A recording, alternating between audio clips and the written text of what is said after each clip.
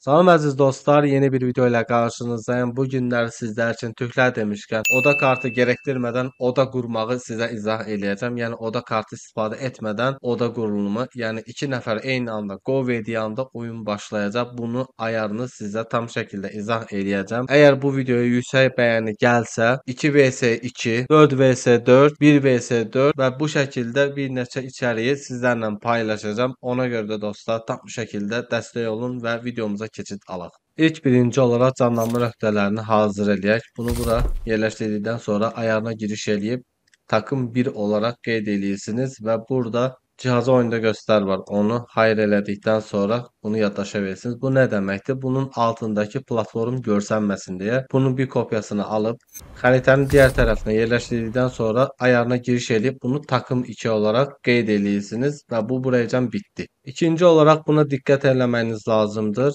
Takım yönetim cihazlarını 1 və 2 dənə qoyuram. Bunların biri takım 1 və takım 2-ni anlatır. Ayarına giriş eləyərək takım adı olan yerə mətin gir. Bura nə istəsəniz yaza bilərsiniz. Mən məsəl üçün deyim ki, Mahir 1 yazım. Yəni bu bu şəkildə qalsın və bura siz takım 1 də yaza bilərsiniz. Takım numarası bunu takım 1 olaraq yazırsınız. Takım böyüklüyündə də 1 olaraq qeyd edirsiniz.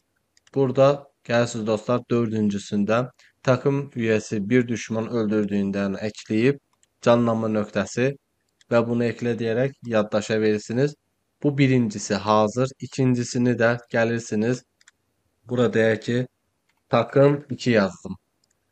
Burada takım nömrəsini 2 eləyirsiniz. Takım böyüklüyünü 1 olaraq yaddaşda saxlayırsınız. Yenə də eyni şəkildə gəlib burada bu səfər dostlar canlanma nöqtəsi 2 olan cihazı vermək lazımdır. Bunu da qeyd elədikdən sonra bizim burada öyə vermə cihazımız var.